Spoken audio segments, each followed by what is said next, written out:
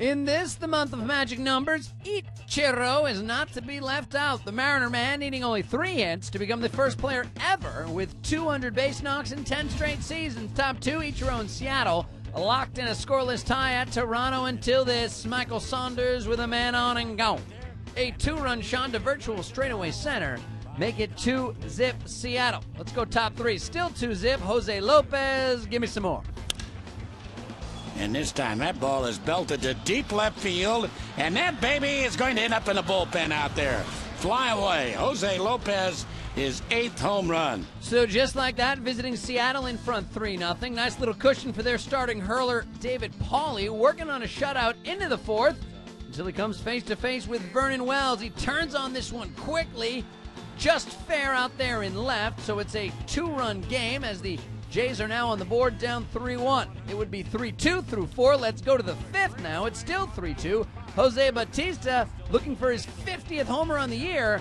Just foul out there and left. Another peak. This one, well, it looks almost exactly like the ball Vernon Wells hit. Instead, it's called foul. Bautista would later fly out. He's still stuck on 49 homers. Let's go to the top of the sixth. Brian Tallet on out of the Blue Jays pen. The first batter he sees is the aforementioned Jose Lopez. Another homer for him. That's his second of the game. His fourth multi home run game of his career.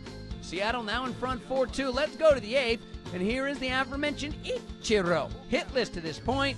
Check that. A little single for the Japanese stud. So that's 198 hits on the season. Later in the frame, it's again Lopez, again facing a brand new reliever, and again doing the Blue Jay bash. Lopez drives another one deep wow. to left. Going back, Snider. A three home run night for Jose Lopez. This time a two run shot. And it's 6 2 Mariners. Can you believe this? Seattle goes up 6 2. They win it 6 3. How about Lopez? Three hits, all of them homers. He goes for four ribbies. Ichiro gets just that one hit that we saw, so his magic number for 200 is two. As for Bautista, one for four on the day, no homers, so he's stuck on 49. Meanwhile, Pauley gets the win. He improves to 3 and 8 on the season.